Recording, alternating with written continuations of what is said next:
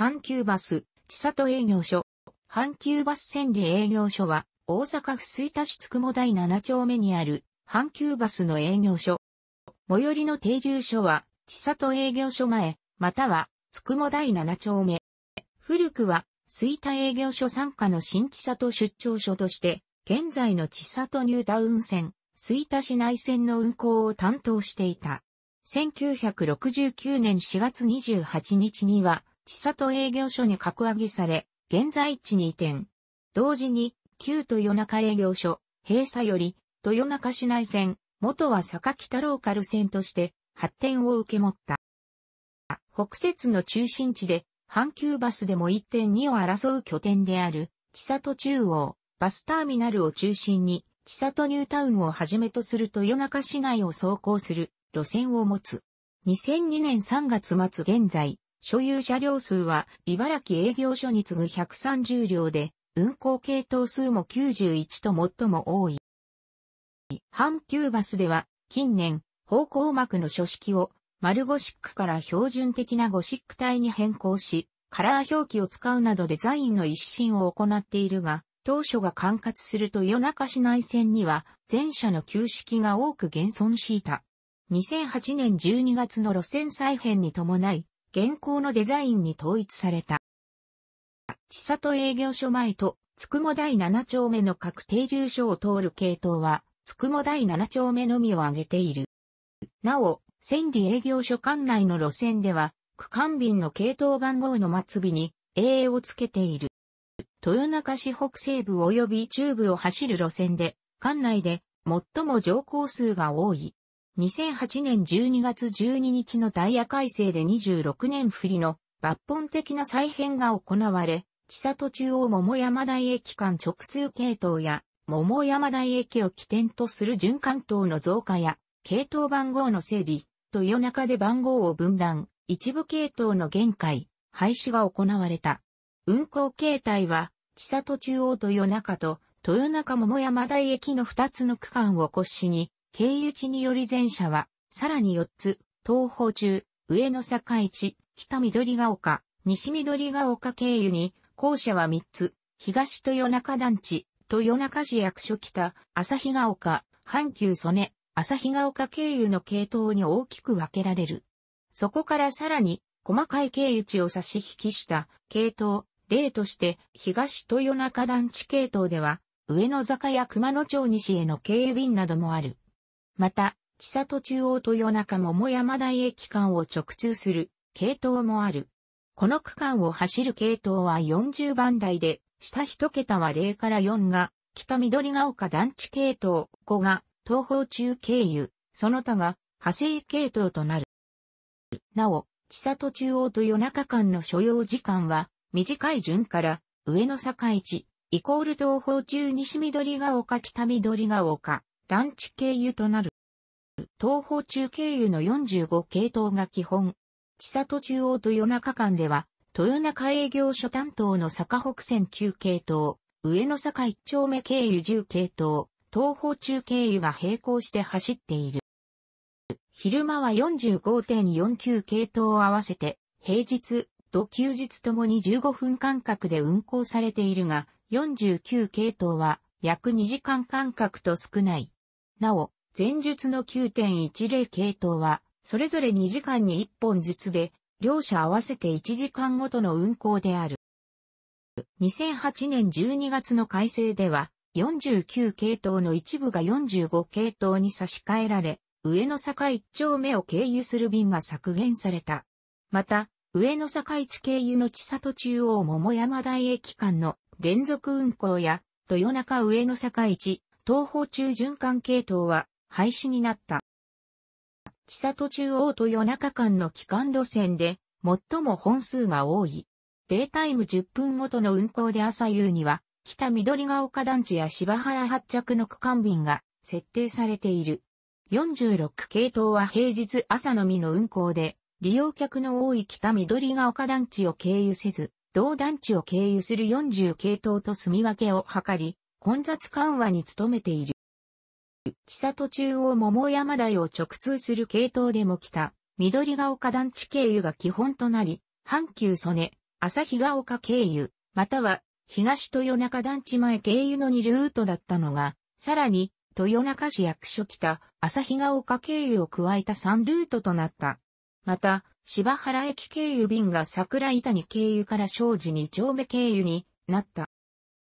2008年12月の改正より深夜バスの運行が開始された。西緑が丘地区を経由する。昼間は平日、休日とも25分間隔で運行され、朝のラッシュ時や深夜には、正時2丁目発着の区間便も加わる。上記の改編で上野東3丁目発着から変更。このほか、同改編からは、北緑が丘団地、芝原駅豊中桃山台駅つくも台7丁目、系統48.3032系統が西緑が丘を経由するようになった。この改編で939系統、千里中央上野口豊中系統が廃止されたことで、中央環状線を経由する路線はこの系統のみとなり、一部の停留所が休止となった。上記の改編からは、旭ヶ丘方面を経由する系統が20番台、東豊中団地前方面を経由する系統が30番台に整理された。また、東豊中団地前、旭ヶ丘団地前方面桃山台駅間を走る系統は、全便が上新田住宅前を経由しなくなった。上記の改正前は、桃山台と夜中間の区間便のみだったが、全便が桃山台駅循環の連続運行に変わった。上記の改正では、夕方以降に、東豊中団地経由の旭ヶ丘北口行きを、新設、及び阪急曽根発着便の一部が、豊中、桃山台駅方面への循環連続運行となった。旭ヶ丘を経由する便が20から23系統、旭ヶ丘を経由しない便が27.28系統を名乗る。上記の改正では、運行が30分間隔から60分間隔に減便された。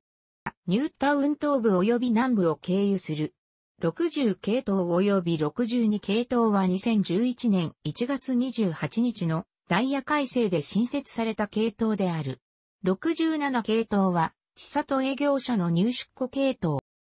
ニュータウン南東部にある助、竹野台、高野台方面への系統。68系統は、東町センター前、つくも大センター前等のニュータウン東部。69系統は、南町2丁目、桃山台駅前等のニュータウン南部を経由する。一部の時間帯には、桃山台駅前や南千里始発着の便がある。千里中央からニュータウン北部を経由し、北千里に至る系統。片道約15から20分の短距離路線だが、利用客は多く、昼間でも毎時4本運行されている。ルートは、阪大病院線72系統と並行している。千里中央から北千里を通り、ニュータウン北東部にある古江台、藤代台方面への系統で、千里中央から東に直行し、約10分で北千里に着く。本数は毎時4本で76系統と77系統が交互に運行される。吹田営業所との共同運行。BR なお、東路線の9.10系統は、坂北線の同一番号の系統とは別系統である。2017年6月1日改正にて新設。千里中央と青少園、青団地、サイトの各住宅輸送を行う路線。万北線、前述の豊中市内線及び、吹田市内線に同一系統番号の路線が存在するが無関係である。同年4月1日に茨城営業所から移管された青団地線、青少園前系統及び2016年6月6日、改正にて新設された北大阪ネオポリス線、豊野営業所、担当31系統サイトまで延長、集約している。同様に、千里中央とサイトを結ぶ北大阪ネオポリス線とは異なり、青間谷西4丁目停留所は通過となる。以下は、青団地線、青少園前系統の急行便を引き継ぎ、平日朝のみ運行される。以下は、土休日ピルマのみ運行される。東方中経由の31系統が基本で、上野坂一丁目経由の32系統がそれに加わっていた。現在と同様に、万北線、旧系統、上野坂一丁目経由と10系統、東方中経由と並行する。改編後は運行本数を維持したまま、東方中経由が45系統、上野坂一経由が49系統となった。当初の旭ヶ丘側の奇襲点は旭ヶ丘南口だったが、2000年に旭ヶ丘停留所と統合され、旭ヶ丘発着に変更された。1989年に豊中営業所から移管された。昼間でも10分間隔で運行されるほど利用客も多かったが、1997年の大阪モノレール芝原駅大阪空港駅間延伸に伴い、164系統の千里中央阪大本部前間を除き、廃止された。なお、千里中央阪大本部前間は、阪大病院線として引き続き運行されたが、2006年に石橋営業所に移管された。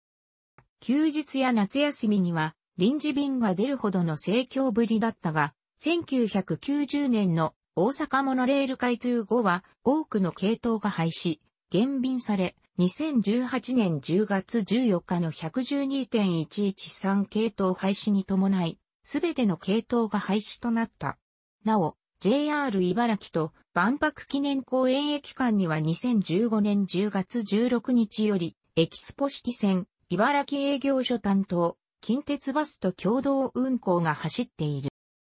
千里中央北線 D 間でルートが違っており、72.73系統と74.75系統がそれぞれ対逆回りになっている。昭和50年頃には72.73系統は往復、千里中央発後、木前ともに西町三丁目を経由していたが、昭和55年頃に下記のような形態に改められた。その後に76.77系統が開設した後、これらは集約されて、現在のようになる。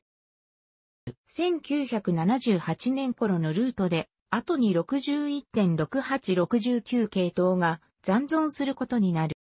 2006年に、阪大病院線164系統とともに、石橋営業所へ移管された。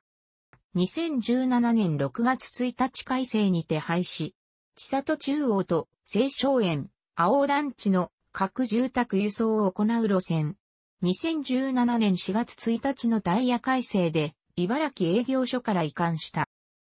なお、豊野営業所が運行している北、大阪ネオポリス線も、希望が丘千里中央間の最短経路として、三独線を通る。